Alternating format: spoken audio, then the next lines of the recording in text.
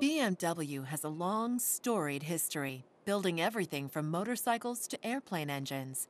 Because of their roots in aircraft manufacturing, many people believe the classic BMW logo is an airplane propeller.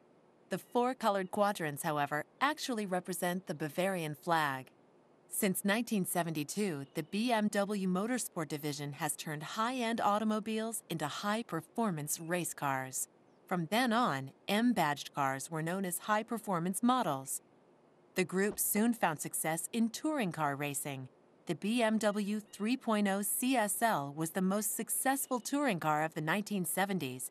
In recent years, BMW has found success at the American Le Mans Series, winning the GT division in 2010 and 2011. Overall, BMW has won 17 European and 4 World Touring Car Championships, showing clearly that race proven technology is in their DNA.